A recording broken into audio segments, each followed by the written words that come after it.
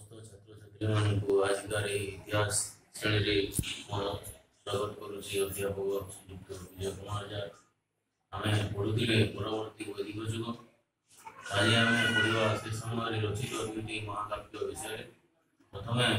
रामायण महाभारत दुईट महाकाव्य भारत सरस्वत भंडार दुईट अमूल्य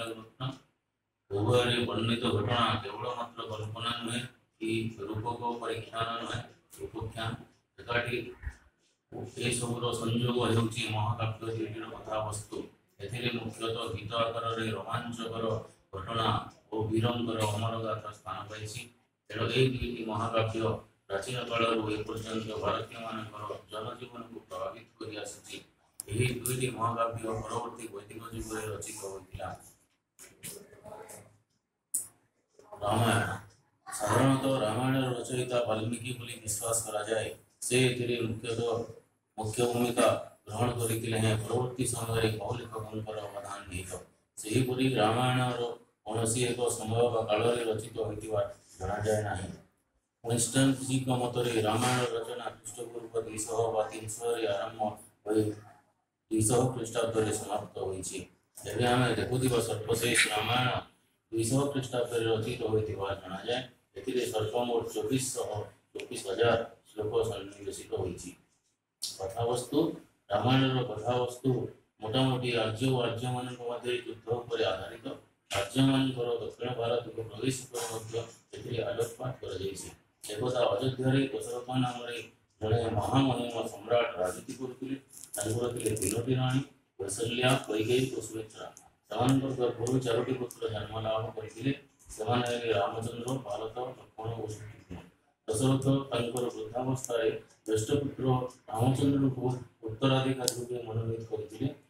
मात्र विमाता कहीकि सहयोग करें से पुत्र भरत हे उत्तराधिकारी तेणु कौशल क्रमे से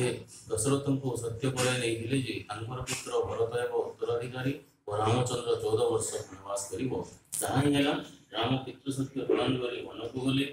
साथी गले ପତ୍ନୀ ସୀତା ଓ ଭ୍ରାତା ଲକ୍ଷ୍ମଣ ରାମ ବନବାସ ଯିବା ପରେ ଦଶରଥ ମାନସିକ ଦୃଷ୍ଟି ଦ୍ୱାରା ପୀଡ଼ିତ ହୋଇ ଶେଷରେ ପ୍ରାତ୍ୟା କଲେ ମାତ୍ର ବୈଦିଙ୍କର ଯୋଜନା ପଣ୍ଡ ହୋଇଗଲା ଭରତ ସିଂହାସନରେ ବସିବା ପାଇଁ ମନା କରିଦେଲେ ବଳଭାଇଙ୍କର ଅନୁପସ୍ଥିତିରେ ତାଙ୍କର ପ୍ରତିନିଧି ଭାବେ କେବଳ ମାତ୍ର ତାଙ୍କର ପ୍ରତୀକ ରୂପେ ତାଙ୍କର କଠୋର ସିଂହାସନରେ ପ୍ରତିଷ୍ଠିତ କରି ସେ ଶାସନ କାର୍ଯ୍ୟ ଚଳାଇଲେ ଏଣେ ରାମଙ୍କର ବନବାସ ସମୟରେ ଏକ ରୋମାଞ୍ଚକର ଘଟଣା ସଂଘଟିତ ହୋଇଥିଲା ଏ ପଞ୍ଚବଟି ମନରେ ସୀତା ଓ ଲକ୍ଷ୍ମଣଙ୍କ ସହ ରାମଚନ୍ଦ୍ର ଶିବିର ପକାଇ ରହିଥାନ୍ତି ଏହି ସମୟରେ ଲଙ୍କା ପରାକ୍ରମୀ ରାଜା ରାବଣ ସେଠାରୁ ସୀତାଙ୍କୁ ଅପହରଣ କରି ନିଜ ରାଜଧାନୀକୁ ନେଇଯାଇଥିଲେ ଫଳରେ ରାମ ଓ ରାବଣଙ୍କ ମଧ୍ୟରେ ଏକ ଭୟାବହ ଯୁଦ୍ଧ ସଂଗଠିତ ହୋଇଥିଲା ଏଥିରେ ରାବଣ ପରାଜୟ ବରଣ କରି ଯୁଦ୍ଧରେ ନିହତ ହୋଇଥିଲେ ତାପରେ ସୀତାଙ୍କୁ ଉଦ୍ଧାର କରି ରାମଚନ୍ଦ୍ର ଅଯୋଧ୍ୟାକୁ ପ୍ରତ୍ୟାବର୍ତ୍ତନ କରିଥିଲେ ପରେ ପରେ ସୀତାଙ୍କର ଜୀବନରେ ଦୁର୍ଭାଗ୍ୟର ବନ୍ୟା ମାଡ଼ି ଆସିଲା चरित्र विषय कतेक प्रजा सन्देह प्रकाश कर जाणी रामचंद्र निर्वासन दे गुण को प्रढ़ले मात्र निष्कल सीता धर्म सहायता देला बाल्मीकि ऋषि निज आश्रम को लेगले से अंत सत्वान तेणु आश्रम लोभ नाम पुत्र जन्म हेले परिचय पाइबा राम से ले रावण प्रथम महाभारत अन्य महाभारत महाकाव्य रामायण बड़ रामायण रचित रचित यह लेखा जाए अनुमान सर्वमोट एक लक्ष लोक सन्निवेशित महाभारत व्यास द्वारा रचना कर विश्वास कर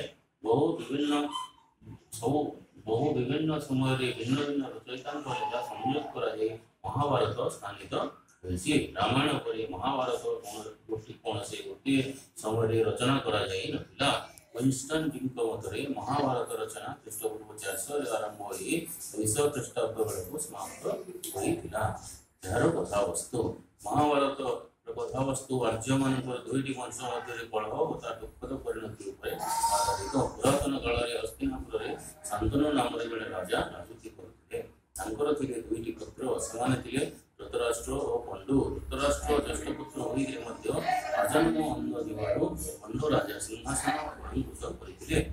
livre să fie un număr, eu, da, se trebuie de acolo, din pan, până la pan, acolo,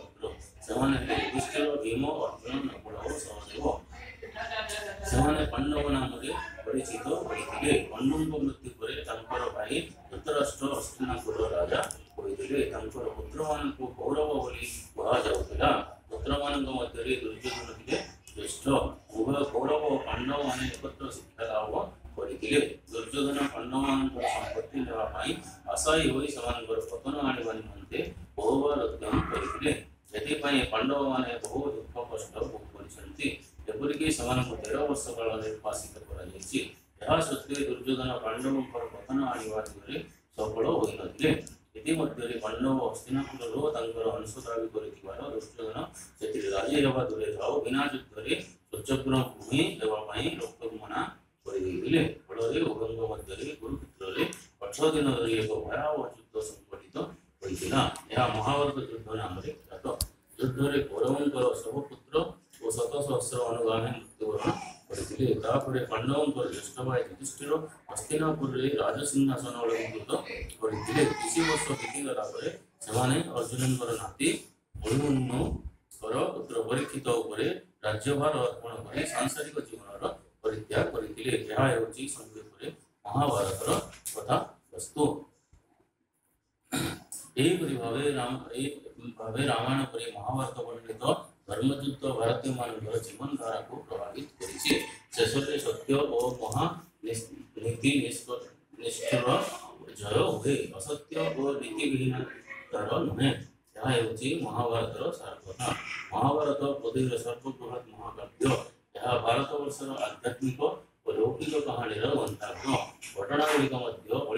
ভাষাও সুন্দর শৈলীরে লিখিত হয়েছে গীতা মহাভারত মহাকাব্যের গীতা ହେଉଛି ଏକ ଅଂଶ ବିଶେଷ ଏଥିରେ ସାତଶହ ଶ୍ଳୋକ ସନ୍ନିବେଶିତ ଗୀତା ହେଉଛି ଶ୍ରୀକୃଷ୍ଣ ଓ ଅର୍ଜୁନଙ୍କର ମଧ୍ୟରେ কথୋପକଥନର ଗାଥା କୌରବ ଓ ପାଣ୍ଡବ କୁରୁକ୍ଷେତ୍ର ଯୁଦ୍ଧ କ୍ଷେତ୍ରରେ ମହାନ ହେବା ପରେ ଅର୍ଜୁନ ନିଜର ଅନ୍ୟ ସ୍ୱଜନଙ୍କ ବିରୁଦ୍ଧରେ ଅସ୍ତ୍ର ଉଠାଇବା ପାଇଁ ପନ୍ଥାବୋଧ କରିଥିଲେ ତେଣୁ ଶ୍ରୀକୃଷ୍ଣ ତାଙ୍କୁ ବହୁ ଉପଦେଶାତ୍ମକ ବାଣୀ ଶୁଣାଇ ଯୁଦ୍ଧ କରିବା ପାଇଁ